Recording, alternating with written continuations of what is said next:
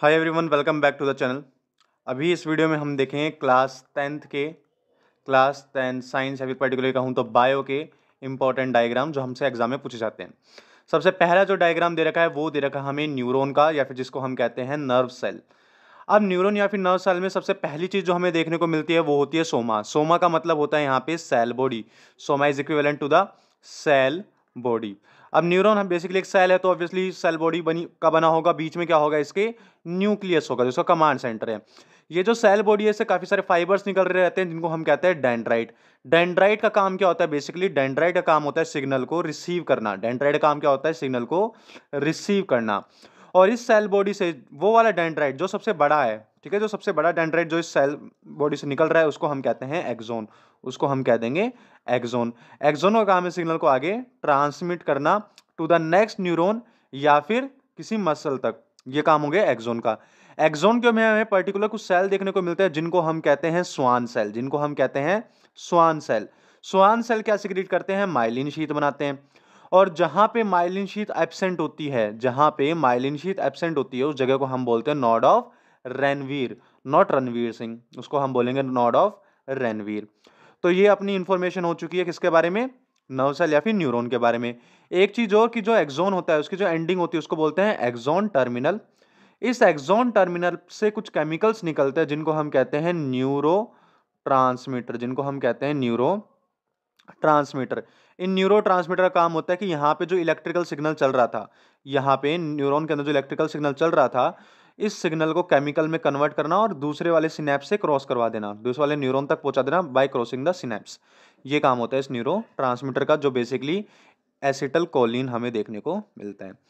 Next slide पे हमें important diagram दे रखा है, ह्यूमन एक्सक्रीटरी एक्सक्रीटरी सिस्टम का।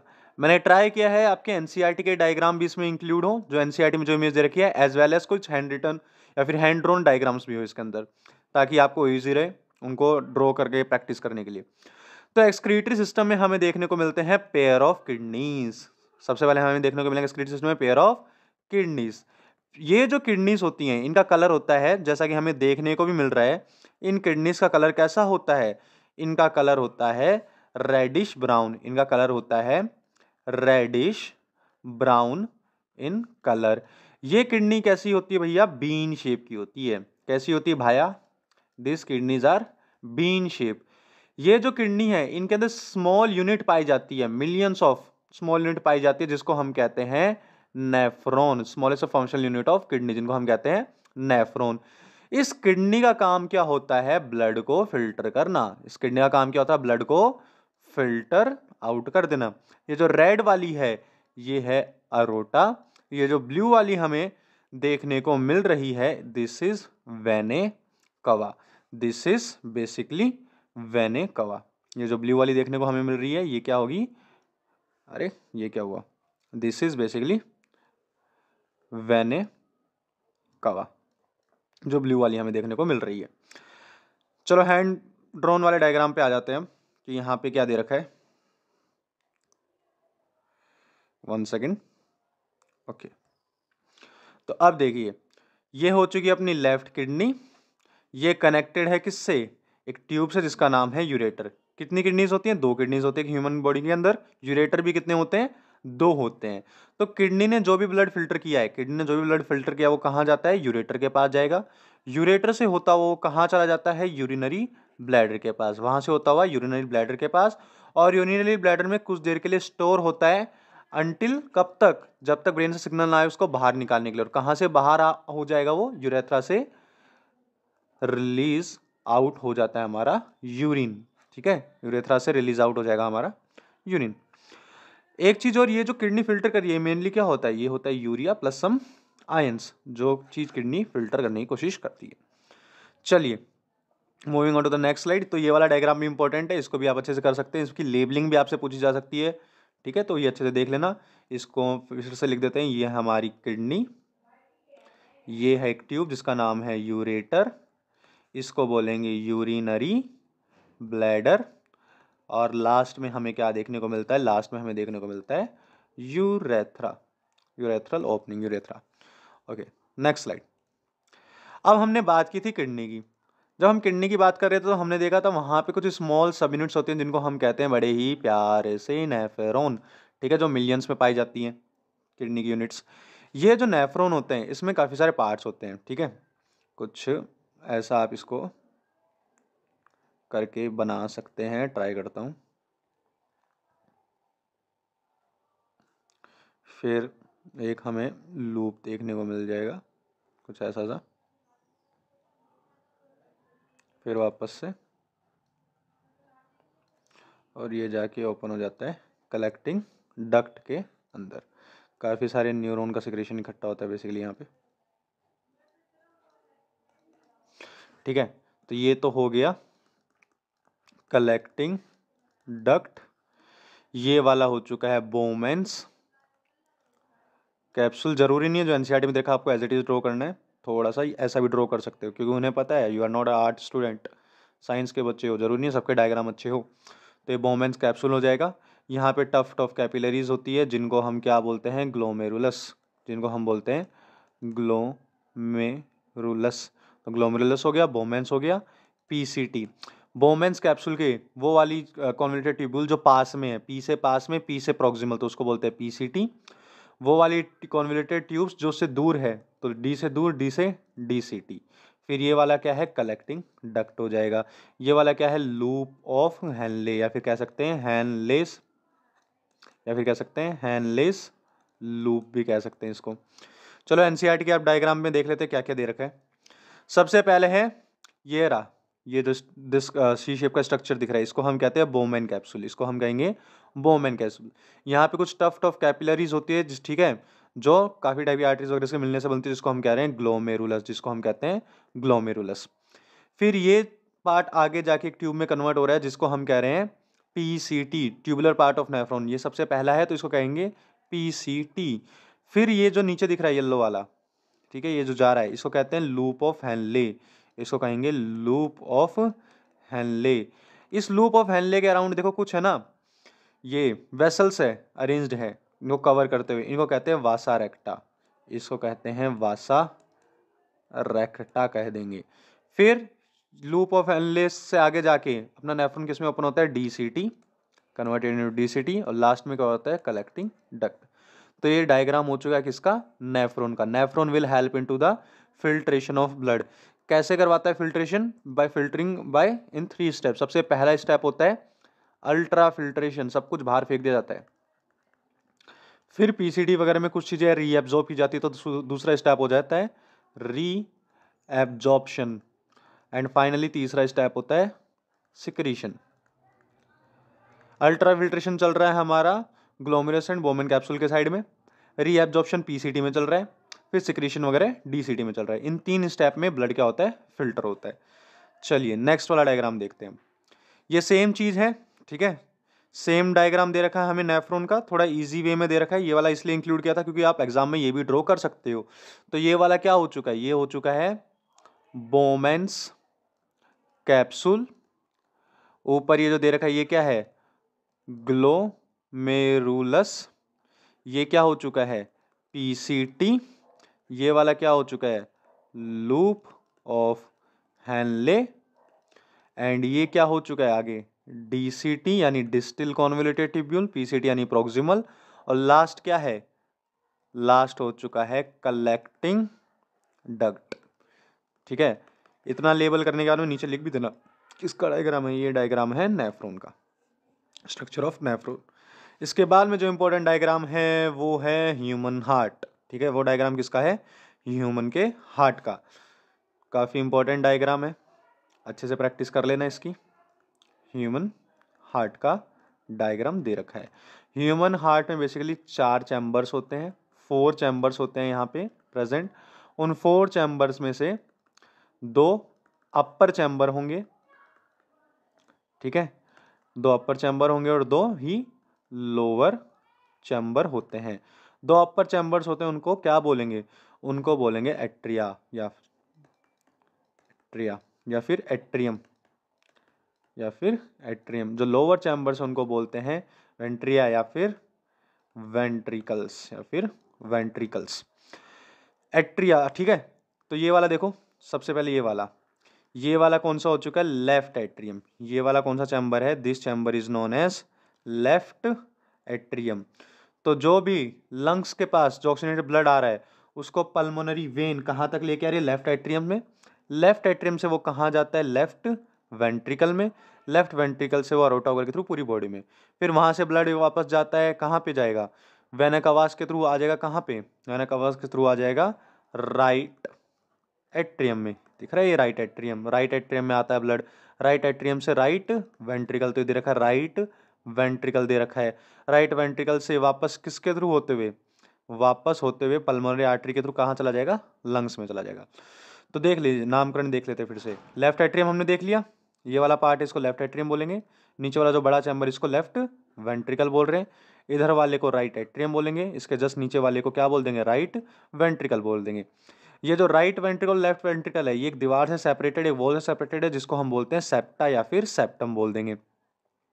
फिर राइट एट्रियम के अंदर कुछ, है ना वेन्स ब्लड वगैरह लेके आ रही है। उनको बोलते हैं वेनेकवा ठीक है? दो टाइप की होती है सुपीरियर एंड इन्फीरियर कुछ वेनेकवा जो ऊपर से लेके आ रही है, ठीक है? अपर पार्ट से। तो इसको बोलते हैं सुपीरियर वेनेकवा और जो नीचे वाले पार्ट से लेके आ रही है, इसको बोलते हैं इन्फीरियर वेनेकवा ये ब्लड लेके आ गई राइट एट्रियम से राइट एट्रियम से राइट वेंट्रिकल राइट वेंट्रिकल से पल्मोनरी आर्टरीज के थ्रू कहाँ चला जाता है? वो वापस से लंग्स में चला जाता है फ़िल्टर होने के लिए।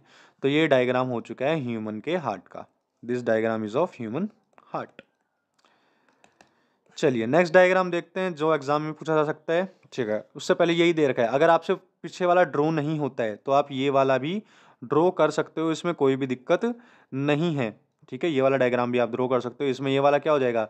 लेफ़्ट एट्रियम ये वाला क्या हो जाएगा? लेफ़्ट वेंट्रिकल ये वाला क्या हो जाएगा? Right atrium and the right ventricle, इस तरह से भी आप डिनोट कर सकते हो। वेनेकवा से राइट एट्रियम तक आएगा, यहाँ से। लेफ़्ट एट्रियम में ब्लड कहाँ से आता है? लेफ़्ट एट्रियम में ब्लड कहाँ से आएगा? पल्मोनरी। वेन से, ठीक है? फिर ये अरोटा, फिर यहाँ पे वेनेकवा से आता है, यहाँ पे किससे आता है? वेनेकवा से, और फिर वापस कहाँ से चला जाएगा? पल्मोनरी आर्टरी से। पल्मोनरी आर्टरी से वापस लंग्स के पास चला जाएगा। तो ये वाला डायग्राम भी आप बना सकते हो, कोई मार्क्स नहीं काटेगा आपके, ठीक है? बस शर्तें आप चीज़ें सही लिखोगे, जैसे सेप्टा वगैरह, ठीक है? सारी चीज़ें सही से मेंशन कर देना। फिर जो काफ़ी ज़्यादा इंपॉर्टेंट डायग्राम है, वो है फीमेल रिप्रोडक्टिव सिस्टम का इसे मैंने एनसीईआरटी वाला डायग्राम इंक्लूड नहीं किया, मैंने वो वाला किया है। जो थोड़ा सा ड्रॉ हो रखा है, ताकि आप इसको अच्छे से देख सके और खुद भी ऐसा कुछ ड्रॉ कर दे। तो इसमें सबसे पहले फीमेल रिप्रोडक्टिव स्ट्रक्चर में हमें सबसे पहले देखने को मिलता है प्राइमरी सेक्स ऑर्गन जिसको हम कहते हैं ओवरी जिसको हम कहते हैं ओवरी ओवरी का काम होता है एग सेल बनाना। एग सेल बनाना यानी फीमेल गैमिट बनाना। एक तो फीमेल गैमिट बनाता है ओवरी और साथ में क्या बनाते हैं फीमेल हॉर्मोन्स भी कौन बनाता है? ओवरी ही बनाता है चो आर एमओ चो R M O N E S ठीक है? हॉर्मोन्स भी कौन बना रहा है? ओवरी बना रहा है। ओवरी को और यूट्रस को कनेक्ट करने के लिए एक डक्ट होती है, जिसको कहते हैं ओवी डक्ट जिसको क्या कहते हैं? ओवी डक्ट कहते हैं, जिसको कहेंगे ओवी डक्ट ठीक है? ओवरी को और यूट्रस को कनेक्ट करने के लिए एक डक्ट होती है, जिसको कहते हैं ओविडक्ट या फिर उसका दूसरा नाम होता है फेलोपियन ट्यूब तो ये जो फेलोपियन ट्यूब होती है, ठीक है, ये क्या करेगी? इस ओवरी को किससे कनेक्ट कर रही है? यहाँ पे यूट्रस से। फर्टिलाइजेशन कहाँ होता है? Fertilisation will take place into the fallopian tube. F से फेलोपियन ट्यूब और एफ़ से ही फर्टिलाइजेशन। तो ओवरी हो चुके इसका काम बता दिया। उसके बाद में नेक्स्ट स्ट्रक्चर, उसका नाम क्या है? ओविडक्ट। है ओविडक्ट आके जाके ओपन हो जाता है यूट्रस में। किसमें ओपन हो जाता है? U T E R U S uterus और यूट्रस में जो खाली जगह होती है, इसको बोलते हैं यूटराइन कैविटी इसको क्या बोलेंगे? यूटराइन कैविटी और यूट्रस की जो दीवार दिख रही है आपको, ये वाली, इसको क्या बोलेंगे? यूट्राइन वॉल तो यूट्राइन वॉल और यूट्राइन कैविटी दोनों को मिला के क्या बन जाता है? यूट्रस बन जाता है. यूट्रस के नीचे एक कैनाल दिख रहा है, जिसको हम बोलते हैं सर्विक्स और उसके जस्ट नीचे हमें देखने को मिलता है वजाइना इन दोनों को मिला के बोलते हैं बर्थ कैनाल इन दोनों को मिला के बोलते हैं बर्थ कैनाल के बच्चा यहीं से रिलीज़ होते हैं. तो जो स्पम होता है ठीक है स्पम कैसे एंटर करता है? Sperm will enter from this part vagina vagina से होता हुआ सर्विक सर्विक से होता हुआ यूट्रस यूट्रस से होता हुआ कहाँ तक चला जाएगा स्पम फेलोपियन ट्यूब तक। कहाँ तक चला जाएगा? फेलोपियन ट्यूब तक चला गया।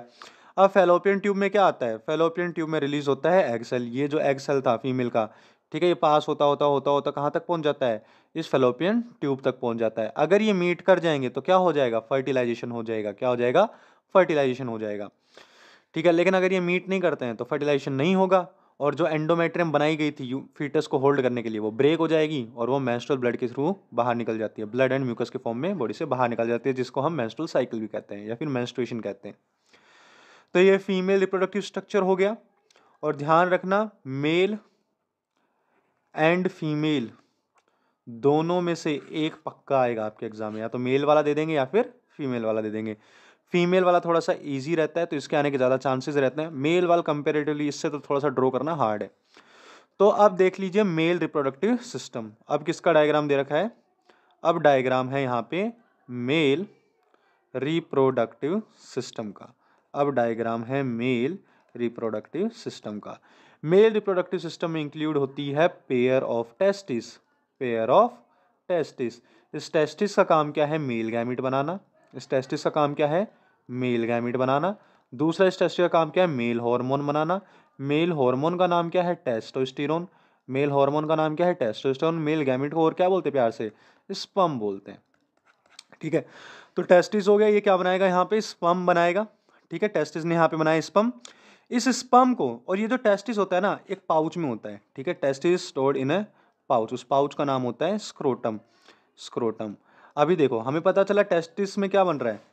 हार्मोन बन रहा है टेस्टिस्टेरोन या फिर स्पम बन रहा है, इनको बनाने के लिए क्या चाहिए होता है? एक पर्टिकुलर टेम्परेचर चाहिए होता है।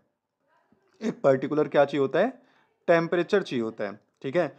जो नॉर्मल बॉडी टेम्परेचर से क्या होता है? जो नॉर्मल बॉडी टेम्परेचर से कम होता है तो स्क्रोटम का काम क्या होता है, वो पर्टिकुलर टेम्परेचर प्रोवाइड करना। One sorry two two three degree centigrade lower temperature provide करना नॉर्मल बॉडी टेम्परेचर से। कौन करता है? स्क्रोटम करता है। तो इसलिए टेस्टिस कहाँ होती है outside the abdomen cavity in a pouch called scrotum तो यहाँ पे टेस्टिस हो चुकी है स्पम बना देगी। ये स्पम कहाँ पास होता है? ये स्पम पास हो जाएगा कहाँ पे? एक डक्ट दिख रही है आपको एपिडिडाइमिस एपिडिडाइमिस से होता हुआ, ये कहाँ चला जाता है? इस वास डिफरेंस में। एपिडिडाइमिस एरी ठीक है? इससे होता हुआ, वास डिफरेंस में। वास डिफरेंस से होता हुआ कहाँ तक चला जाएगा? Finally it will to the urethra urethra क्या होता है? कॉमन ओपनिंग होती है for urine and the semen urine and semen के लिए क्या होती है? कॉमन ओपनिंग अब आप बोलोगे, भैया, आपने इसको सीमन क्यों कहा है? इसको स्पम क्यों नहीं कहा? अरे, भैया, देखो, यहाँ से जो निकल रहा है, वो क्या है? स्पम है। यहाँ तक जो आया है, वो क्या है? स्पम है। इस स्पम के साथ में इस सिमाइनल वेसिकल का सिक्रीशन, इस प्रोस्टेट ग्लैंड का सिक्रीशन, ये दोनों कुछ लिक्विड निकालते हैं ना फ्लूड निकालते हैं। तो इनका फ्लूड इस सीमन के साथ जब मिक्स हो जाता है तो इस पर्टिकुलर चीज़ को हम क्या बोलते हैं? सीमन बोलते हैं। इस पर्टिकुलर चीज़ को हम क्या बोलेंगे? सीमन बोलेंगे। तो यूरेथ्रा जो है, वहाँ से क्या निकलता है? यूरिन भी निकलता है और सीमन भी निकलता है, लेकिन दोनों एक टाइम पे नहीं निकलेंगे। फिर ये यूरेथ्रा के बाहर, ये जो मेम्ब्रेनस स्ट्रक्चर है, इसको कहते हैं पेनिस, ठीक है? Male penis. तो ये डायग्राम हो चुका है किसका? मेल रिप्रोडक्टिव सिस्टम का। इसको भी अच्छे से रेडी करना है। बता चुका हूँ कि फीमेल और मेल वाले में से दोनों में से एक आएगा। फीमेल वाले के ज़्यादा चांसेस हैं, लेकिन फिर भी मेल वाला कर लेंगे। तो ये पेनिस हो चुका है, ठीक है? स्क्रोटम आपको समझा ही दिया क्या होता है और कहाँ पर होता है? ये रहा, ठीक है? ये क्या है? जहाँ पे टेस्ट स्टोर है जिसके अंदर। इसको क्या कहते हैं? C R O T U M यहाँ पे लिख भी रखा था डायग्राम में सॉरी तो ये रहा स्क्रोटम। स्क्रोटम के अंदर क्या होते हैं? टेस्टिस होती हैं। टेस्टिस से जो स्पम निकल रहा है, उसको कौन कैरी कर रहा है? एपिडाइमिस एपिडाइमिस से ये जो ट्यूब इसको वास्ट डिफरेंस बोलेंगे। वास्ट डिफरेंस से होता हुआ वो उन कुछ ग्लैंड्स के साइड में जा रहा है seminal vesicles and prostate gland ये दोनों अपना सिक्रेशन स्पम के साथ छोड़ देंगे और वो कहाँ पर पहुँच जाएगा? यूरेथ्रा में। लेकिन अब वो स्पम क्या कहलाएगा? सीमन कहलाएगा, क्योंकि उसमें कुछ सिक्रेशन भी मिक्स हो चुका है। फिर फाइनली वो यूरेथ्रा से पास आउट हो जाता है, बाहर निकल जाता है। ठीक है? चलिए। नेक्स्ट डायग्राम देखते हैं, ये क्या है? पार्ट्स ऑफ़ फ्लावर का, ठीक है, ये भी आसान डायग्राम है, इजी डायग्राम है, इसलिए पूछा भी जा सकता है। पार्ट्स ऑफ़ फ्लावर में सबसे पहले दे रखा है एंथर के बारे में, सबसे पहले किसके बारे में दे रखा है? एंथर हो गया, जो मेल पार्ट होते हैं, ठीक है? एंथर एंथर जो मेल पार्ट होते हैं उसको क्या बोलेंगे? स्टेमन, एंथर एंड फिलामेंट, दोनों को इंक्लूड करके हम क्या बोलते हैं? स्टेमन बोलते हैं ना? S T M E N stamen. Female part को क्या बोलते हैं? पिस्टिल स्टेमन के अंदर दो पार्ट आते हैं। कौन से? Anther and the filament. Anther क्या होता है? देखो बाई लोब्ड दो लोब दिख रहे हैं लेफ़्ट एंड राइट में। तो बाइलोब्ड स्ट्रक्चर होता है, जिसको कहते हैं एंथर कहते हैं। एंथर के नीचे की तरफ़ जो एक हुक दिख रहा है, स्टॉक दिख रहा है, इसको कहते हैं फिलामेंट। इस एंथर में क्या बनते हैं? पोलन ग्रीन्स बनते हैं। क्या बनते हैं इस एंथर में? Pollen grains. ठीक है, साइड में लिखता हूँ। तो सबसे पहले एंथर है। एंथर कैसा होता है? बाइलोब्ड स्ट्रक्चर होता है। इस एंथर में क्या फॉर्म हो रहे हैं? पोलन ग्रेन फॉर्म हो रहे हैं। इन पोलन ग्रेन में क्या पाया जाएगा? मेल गैमीट पाया जाएगा। इन पोलन ग्रेन में क्या पाया जाता है? मेल गैमीट पाया जाता है। दूसरा, ठीक है? एंथर एंड फिलामेंट ये दोनों ही किसके पार्ट है? स्टेमन के पार्ट है। किसके पार्ट है? स्टेमन के पार्ट है। तो stamen divided into anther and filament filament क्या होता है? लॉन्ग स्टॉक लाइक स्ट्रक्चर होता है, जो एंथर को ऊपर तक ले जाने में हेल्प करता है। और एंथर बाइलोड स्ट्रक्चर है, जहाँ पोलन ग्रेन फॉर्म होती है और पोलन ग्रेन के अंदर भी क्या पाया जाता है? मेल गैमिट पाया जाता है। दूसरा जो स्ट्रक्चर है, किसी टिपिकल बाईसेक्सुअल फ्लावर में, किसी टिपिकल बाईसेक्सुअल फ्लावर की बात कर रहा हूँ मैं। तो दूसरा जो उसमें स्ट्रक्चर उसको कहते हैं पिस्टिल कहते हैं, उसको कहेंगे पिस्टिल। पिस्टिल के बेसिकली तीन पार्ट होंगे। कौन कौन से? Stigma not sigma it's stigma stigma style and the ovary and the ovary stigma style and ovary ठीक है? स्टिग्मा क्या करता है? लैंडिंग प्लेटफॉर्म की तरह काम करेगा। स्टिग्मा किसकी तरह काम करता है? Stigma act as the landing platform जहाँ पे पोलन ग्रेन आके गिरते हैं। लैंडिंग प्लेटफॉर्म है। स्टाइल क्या है?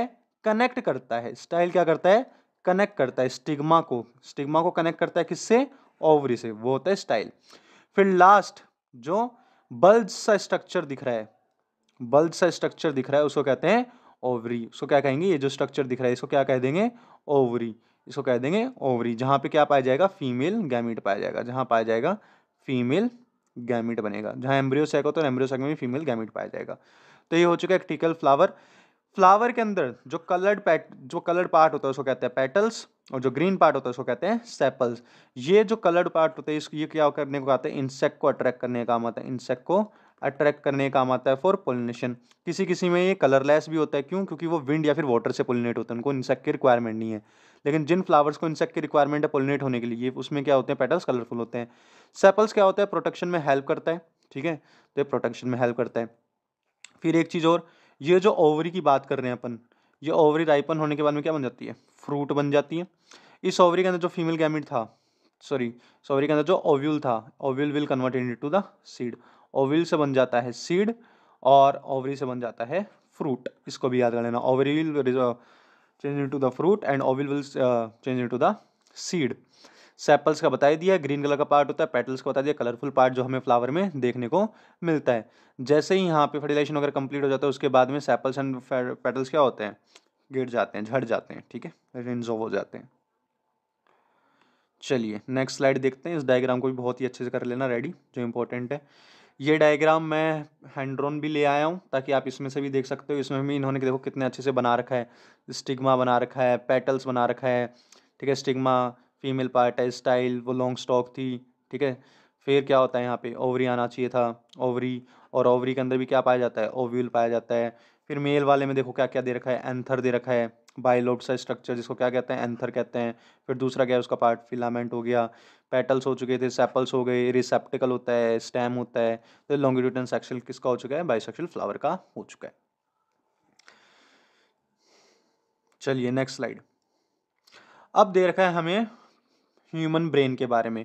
ह्यूमन ब्रेन में बेसिकली तीन पार्ट होते हैं फोर ब्रेन हो गया मिड ब्रेन हो गया एंड द हाइंड ब्रेन हो चुका है। इस चीज़ के ऊपर तो मेरे को एक नेक्स्ट वीडियो बनाना भी है, ठीक है, जिसमें हम मुझे ब्रेन के फ़ंक्शंस वगैरह अच्छे से समझाने हैं। तो वो वाली चीज़ मैं वहीं बताऊँगा। अभी के लिए सिर्फ़ डायग्राम देख लो। एक फोर ब्रेन होता है, एक मिड ब्रेन होता है, और एक हाइंड ब्रेन होता है। ब्रेन की जो आउटर मोस्ट कवरिंग होती है, उसको कहते हैं हम सारी उसको हम क्या कहेंगे सॉरी उसको हम कहेंगे क्रेनियम उसको हम क्या कहेंगे क्रेनियम ठीक है क्रेनियम कह देंगे। फिर यहाँ पे क्रेनियम के बीच में क्या होता है, कुछ क्रेनियल फ्लूड भी होता है। फोर ब्रेन हो चुका था, जिसमें सैरिब्रम वगैरह आता है। फिर मिड ब्रेन हो चुका था, मिड ब्रेन कहाँ गया? Mid brain mid brain mid brain, दिख नहीं रहा, ये रहा, ठीक है? ये रहा मिड ब्रेन। फिर आ चुका था अपना हाइंड ब्रेन, जिसमें तीन पार्ट थे, pons, medulla and the cerebellum. तो ये वाला डायग्राम भी आपको अच्छे से रेडी कर लेना है। ब्रेन वाला काफ़ी इंपॉर्टेंट डायग्राम है ये भी। ठीक है, ये वाला नॉट सो इम्पोर्टेंट है, लेकिन इससे क्वेश्चन भी, इससे बेसिकली क्वेश्चन में पूछ लेते हैं और क्वेश्चन में कई बार अपने आप से रिक्वायरमेंट हो जाती है इसको ड्रॉ करने के लिए। पर्टिकुलरली देते नहीं है कि तुम ड्रॉ करो, लेकिन तुमसे ये स्टोमेटा से रिलेटेड पूछ लेते हैं कि स्टोमेटा कब ओपन होता है, कब क्लोज होता है तो उन्हें साथ में डायग्राम भी बना देना होता है।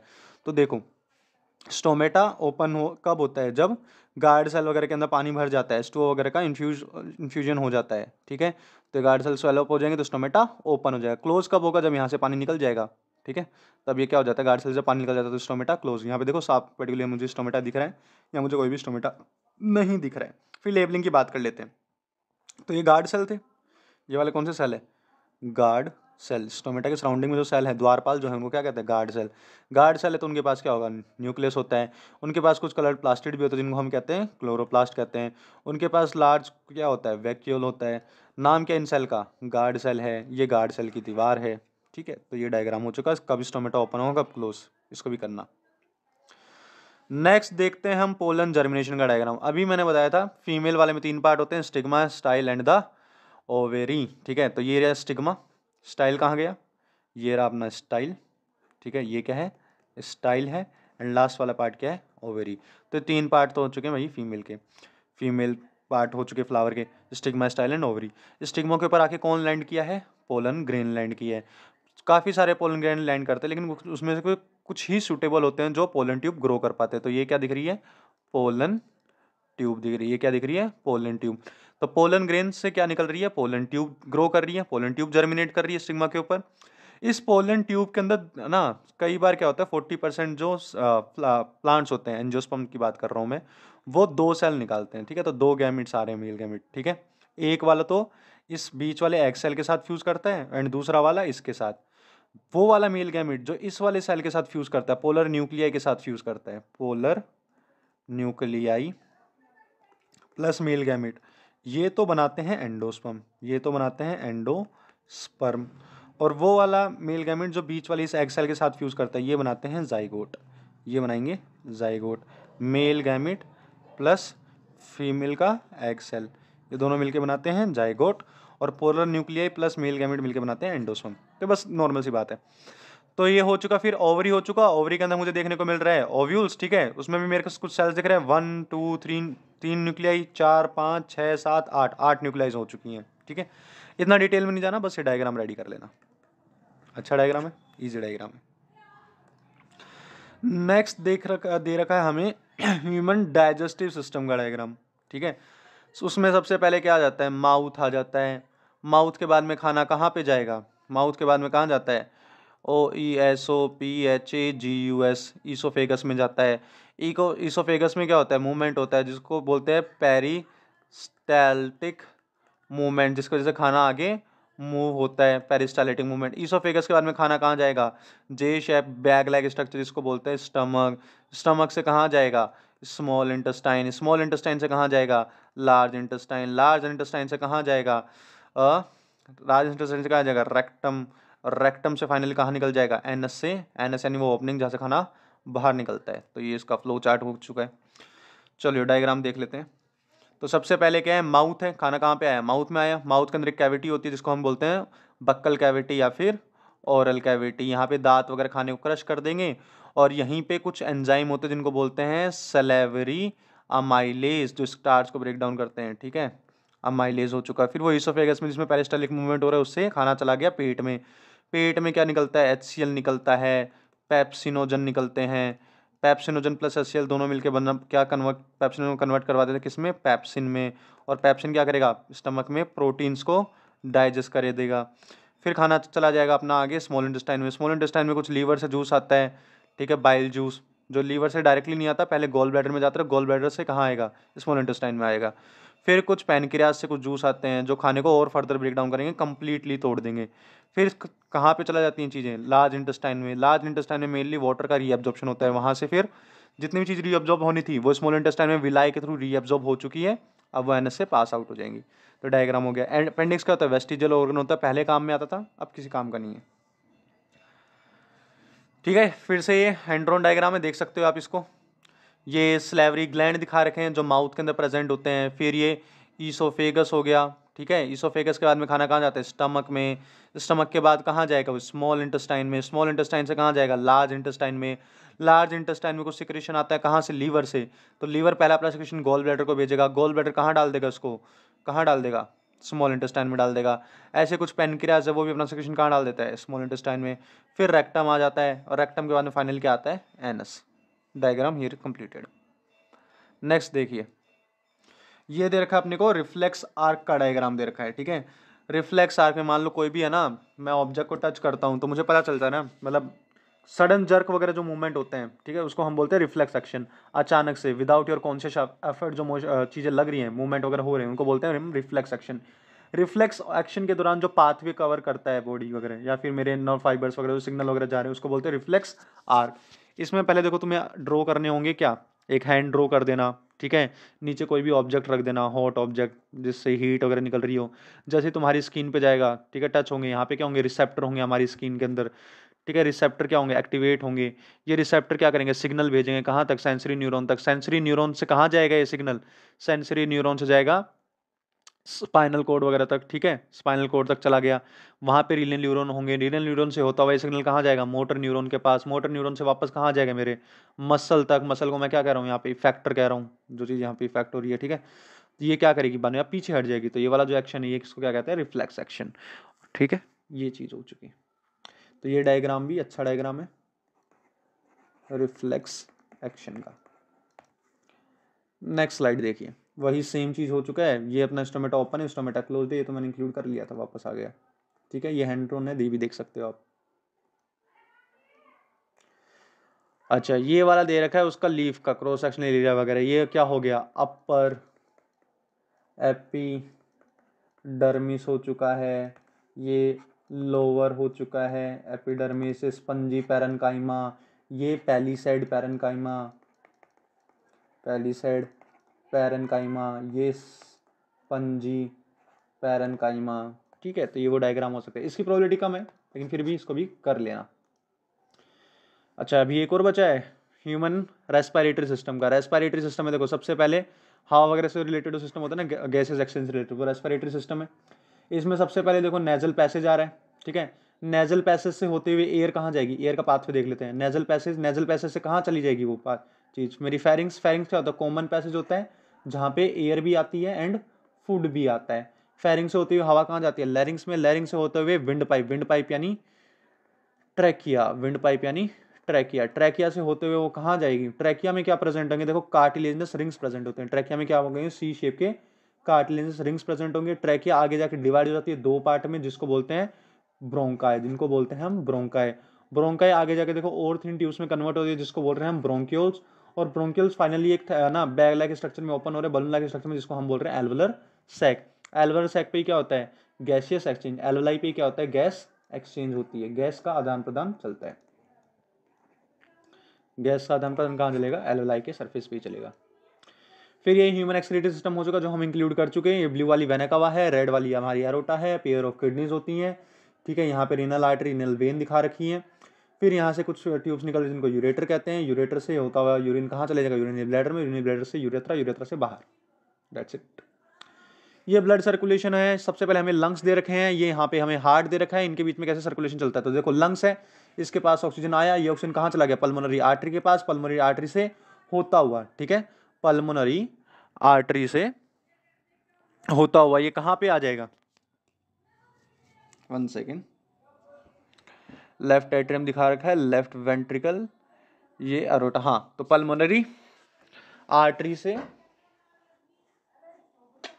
तभी मैं सोचू कंफ्यूज क्यों रहा हूँ, यहाँ पे भी आर्टरी यहाँ पे भी आर्टरी यहाँ पल्मोनरी वेन आएगा। पल्मोनरी वेन से होता हुआ, अब सही है। पल्मोनरी वेन से होता हुआ, ये कहाँ चला जाएगा? लेफ़्ट एट्रियम लेफ़्ट एट्रियम से चला जाएगा लेफ़्ट वेंट्रिकल लेफ़्ट वेंट्रिकल से कहाँ जाएगा? अरोटा अरोटा से होता हुआ मेरी कहाँ चला जाएगा? बॉडी के अंदर चला जाएगा, ठीक है? बॉडी में सर्कुलेट हो जाएगा। फिर यहाँ पे बॉडी ने ऑक्सीजन को तो क्या कर लिया? यूज़ कर लिया, यानी कम हो गए। और यहाँ पे बना क्या है? सी ओ टू सी ओ टू बनता है। रेस्पिरेशन हमने देखा हुआ है। तो अब उस सी ओ टू को बाहर निकालने की बारी तो कुछ वेनेकावा होती है, उस सी ओ टू को लेके जाती है। कहाँ तक लेके जाती है? राइट एट्रियम तक लेके जाती है। राइट एट्रियम से कहाँ चला जाता है? राइट वेंट्रिकल और राइट वेंट्रिकल से होता हुआ, वो कहाँ जाएगा? पल्मोनरी आर्टरी और पल्मोनरी आर्टरी से लंग्स और लंग्स से सी वापस बाहर एटमोसफेयर में छोड़ दिया जाएगा। तो ये हो चुका है ब्लड सर्कुलेशन अगर आ जाए तो आप ये वाला डायग्राम इजीली बना सकते हो। ठीक है?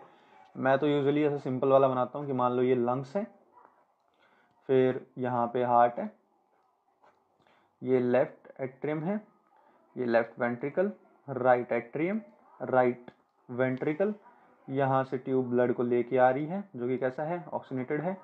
फिर यहाँ से नीचे ट्यूब लेके जा रही है, कहाँ तक लेके जा रही है, बॉडी के पार्ट्स तक लेके जा रही है, सेल्स तक ले जा रही है। यहाँ से एक ट्यूब है जो राइट एट्रियम तक जा रही है। और राइट एट्रियम से राइट वेंट्रिकल राइट वेंट्रिकल से होते हुए एक ट्यूब निकल रही है, जो लंग्स तक वापस जा रही है। मैं ऐसे नॉर्मली बना लेता हूँ। इसको क्या बोलेंगे? इसको बोलेंगे पल्मोनरी वेन, जो ऑक्सीजन लेके आई है, लेफ़्ट एट्रियम तक, लेफ़्ट एट्रियम से लेफ़्ट वेंट्रिकल लेफ़्ट वेंट्रिकल के बाद में यहाँ पे अरोटा अरोटा से होता है वो बॉडी और बॉडी में बोन में ऑक्सीजन की यूज़ हो जाएगा ऑक्सीजन तो यूज़ हो जाएगा सी बनेगी सी को कौन लेके जाएगा? वेनेकवा वेनेकवा से होता है राइट एट्रियम राइट एट्रियम से राइट वेंट्रिकल और राइट वेंट्रिकल से सी ओ टू कहाँ चला जाएगा? पल्मोनरी आर्टरी पल्मोनरी आर्टरी से वापस कहाँ चला जाएगा? लंग्स में और लंग्स से सी बाहर, ठीक है? ये प्रोसेस है, इसको बोलते हैं ब्लड सर्कुलेशन इसके दो पार्ट होते हैं, एक होता है पल्मोनरी सर्कुलेशन देखो, जो लंग्स और हार्ट के बीच में जो सर्कुलेशन चल रहा है, इसको बोलते हैं पल्मोनरी सर्कुलेशन जो लंग्स और बॉडी के सॉरी जो हार्ट और बॉडी के बीच में चल रहा है, इसको बोलते हैं सिस्टमेटिक सर्कुलेशन जो कि यहाँ पे दे भी रखा है कि जो सर्कुलेशन होता है बेसिकली दो टाइप का होता है। एक होता है सिस्टमेटिक और एक होता है पल्मोनरी सर्कुलेशन लंग्स और हार्ट के बीच का जो सर्कुलेशन है, उसको बोलते हैं पल्मोनरी सर्कुलेशन और हार्ट और बॉडी के बीच का, उसको कहते हैं सिस्टमेटिक सर्कुलेशन इसलिए तो हमारे पास कैसा होता है? डबल सर्कुलेशन चल रहा है ना? D O U B L double circulation एक डबल सर्कुलेशन से रिलेटेड क्वेश्चन भी कर लेना कि ह्यूमंस में डबल सर्कुलेशन ज़रूरी क्यों होता है। फिर आगे से लास्ट स्लाइड है। ये नॉट सो इंपॉर्टेंट डायग्राम लेकिन फिर भी आप इसको करके जाएँगे, क्या पता यही आ जाए। बनाना तो नहीं आएगा, लेकिन आपसे है ना, पूछा जा सकता है लेबलिंग पूछी जा सकती है कि ये क्या दे रखा है और ये वाला क्या है। तो ये मुझे क्या दे रखा है? टिपिकल डाइकोट सीड दे रखी है, इसका ये वाला पार्ट जो है, इसको कहते हैं प्लीम्यूल प्लीम्यूल आगे जाके बन जाती है शूट में डेवलप यानी स्टेम बनाएगी आगे जाके फ्यूचर स्टेम बनेगी। ये वाला पार्ट होता है लोअर पार्ट इसको कहते हैं रेडिकल रेडिकल आर से रेडिकल आर से रूट जो आगे जाके कन्वर्ट होगी रूट में। ये क्या है मेरे? कोटिलीडन है, ये एक कोटिलीडन है, ये दूसरा कोटिलीडन है तो ये क्या हो गया? डाइकोट सीड हो गया। कुछ सीड होती है मोनोकोट जिनमें सिर्फ़ एक ही कोटिलीडन रहता है। कोटिलीडन का काम क्या होता है? फ़ूड को स्टोर कर लेना। तो यहाँ तक मैंने सारे इंपॉर्टेंट डायग्राम्स आपको बता दिए हैं। एनसीईआरटी वगैरह देख लेना एक बार और इन डायग्राम्स कर लेना प्रैक्टिस ठीक है? तब तक के लिए see you tata and bye bye आपसे मिलेंगे हम जल्द ही किसी नेक्स्ट वीडियो में।